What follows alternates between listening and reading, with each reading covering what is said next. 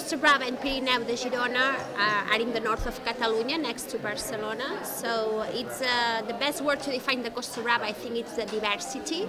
We have the coastline and also the Pyrenees. So we have uh, several activities for everyone can come, like families, couples. Uh, uh, adventure people, so golfers as well. So here we are promoting the several activities that we, we are doing there. From Dublin to Costa Brava, you can you can arrive by by flight. We have an airport next to the Girona city called Girona Airport, so you can fly from Dublin to Girona directly.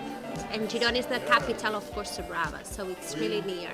And if not, you can go to Barcelona take that highest peak train that is 38 minutes from Barcelona to Girona, so it's quite short time.